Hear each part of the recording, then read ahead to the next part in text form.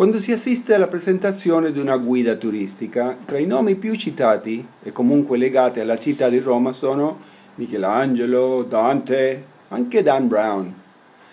E tante persone arrivano a Roma in cerca delle tracce di questi grandi nomi. In merito a ciò, ho da raccontarvi questo, questo, episodio capitato tempo fa quando come professore di disegno a Piazza del Popolo insegnavo dei ragazzi universitari americani di Miami che avevo inserito in un progetto per capire come disegnare la prospettiva a mano con la matita di una chiesa. E facendo una piccola passeggiata lì in piazza, mentre loro disegnavano, mi sono imbattuto in un cartello di indicazioni turistiche, ancora oggi presente in questa piazza che cita Cervantes entrò a Roma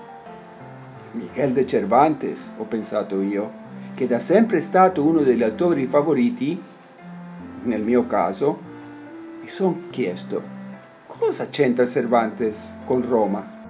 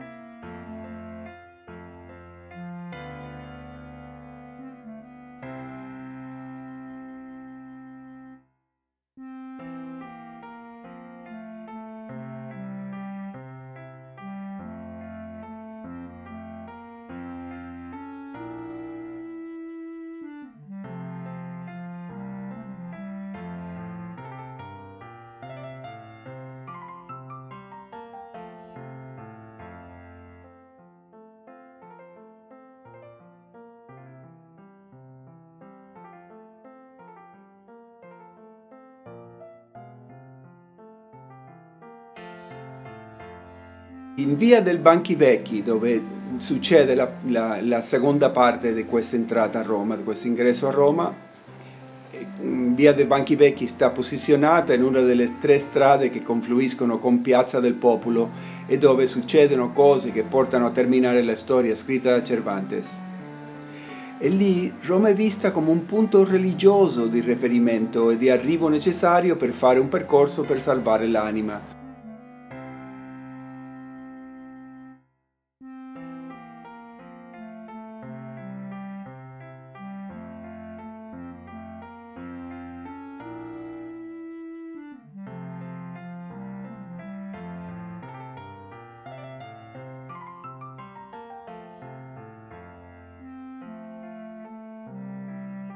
e l'arrivo a, mm, a, Via dei Banchi Vecchi ha tanto a vedere con già lo svelamento di loro due. Nella seconda parte del romanzo, appunto, la ragazza Sigismunda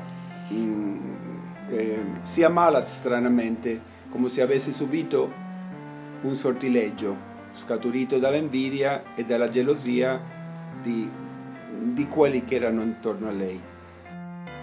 Il romanzo si conclude in bellezza e felicità, raggiungendo la periferia di Roma immediatamente fuori le mura,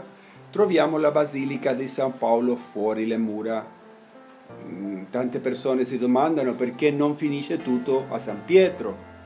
che è la grande chiesa del cattolicesimo.